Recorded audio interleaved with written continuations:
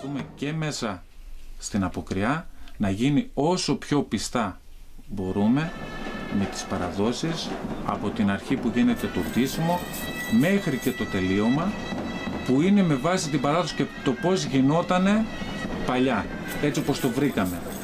Και είναι ευτύχημα που όλο και περισσότερα παιδιά μπαίνουν και αγαπάνε το δρόμο ενώ είναι από τα πιο ζωντανά ρεπερτόρια που έχει η Νάος.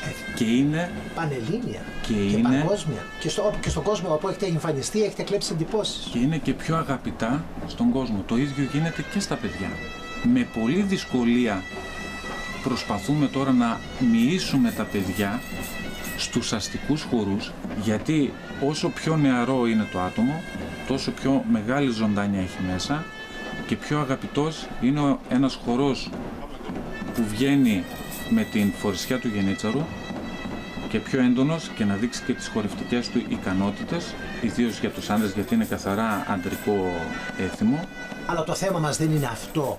Το θέμα μας είναι να αναδείξουμε και τους υπόλοιπους χορούς και να πούμε ότι η Νάουσα ως πόλη, ως λαϊκό αλλά και αστικό κέντρο έχει και μία κατηγορία χορών οι οποίοι χορεύονται με συγκεκριμένες ορχήστρες, με συγκεκριμένα μουσικά όργανα.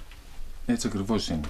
Γι' αυτό και προσπαθούμε εμείς να ανασκαλίσουμε και να βγάλουμε ό,τι μπορούμε από τους πιο παλιούς μαθητευόμενοι μαζί τους για να μπορέσουμε να κάνουμε αγαπητό και στα νέα τα παιδιά αυτή την αστική παράδοση